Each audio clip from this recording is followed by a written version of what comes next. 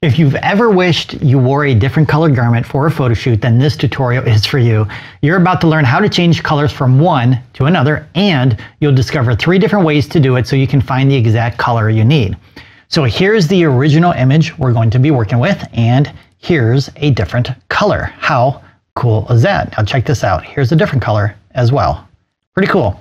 All right, so let me show you how I did this. And just like with the other tutorials, this image is in your resources folder. If you want to practice fixing the tonal adjustments, the raw file should be imported into Darktable already. And here's the tone curve adjustment I made for this image. All right, so let me show you how to change the colors. The most difficult part of this process is making a selection of the target garment that you want to change the color of. Now, for this particular image, it's extra difficult because the garment is the same color as the background. And if we try and use select by color, well, that's going to select the background. And if we try the fuzzy select tool, that's not going to work because the colors are right next to each other. So again, it's going to bleed into that area and it's going to take a long time with that particular selection tool. So the tool of choice for this would be either the quick mask mode or the foreground select tool. So I think I'm going to go ahead and go with the foreground select tool here, and I'm going to go ahead and make my initial outline here to start the selection process. Okay, I'm going to go ahead and start targeting the colors, the contrast, the details, and the textures so GIMP knows exactly what is the foreground. All right, now that we have our selection, we can refine that with our quick mask mode. So shift plus Q, P for your paintbrush. And then I'm just gonna paint with white and black to add and remove from the selection.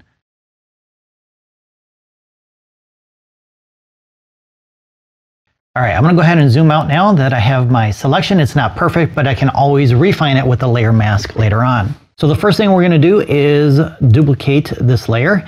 And the first method for changing a color is pretty simple. We're going to go up to colors and select hue, saturation, and then you can adjust the color with the hue slider here. You can make it brighter or darker with lightness and adjust the saturation. Now this is not my favorite method for changing the color. Let's try another method.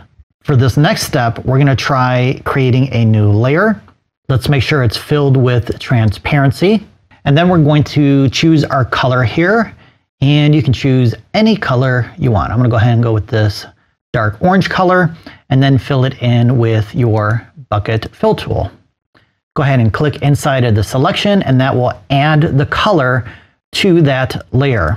All right, so that's not really working out too well. So let's go ahead and blend that in with the layer below. Let's go up to mode and select HSV hue. And boom, we now have, well, it's not really orange, it's more tan. So what you can do if you're not getting the color that you want, go back into the blending modes here and try one of these other values. Let's try color. All right, so that's more orange than tan. And that's another way to change the colors of your garments. And let me share with you one more. I'm gonna go ahead and put this layer back to normal. So let's go ahead and turn this layer off and grab our duplicate layer. And then we're going to go up to colors, colorize, and boom, you have a new color. So this light blue color is the default color for this particular tool. Just click right here to choose another color, or you can use your eyedropper tool here to select a color from within the photo. How cool is that? I love it. Now the other thing you can do here is you can apply a blending mode from here if you want to do that to see if you can get the color that you want. Or you can also adjust the hue, saturation, and lightness from here like we did in the first step.